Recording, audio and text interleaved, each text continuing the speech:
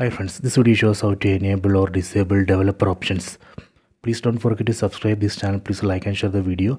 Go to settings, tap on the settings app icon. Select about phone. Here you can see MIUI version. On MIUI version, we need to tap 7 times. 1, 2, 3, 4, 5, 6, 7. You can see the message, you are now a developer. Go back under settings go down select additional settings tap here. Under additional settings go down. Here we can find developer options. Select it. These are the list of developer options. From this list let me go down. Select USB debugging. Tap here. Then select this checkbox. Tap on OK so this way we can enable USB debugging mode.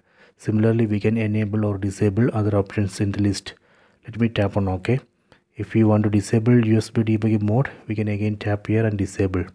Go to the top. If we want to disable developer options we can tap here and disable. I recommend to disable developer options because of security issues. Go back.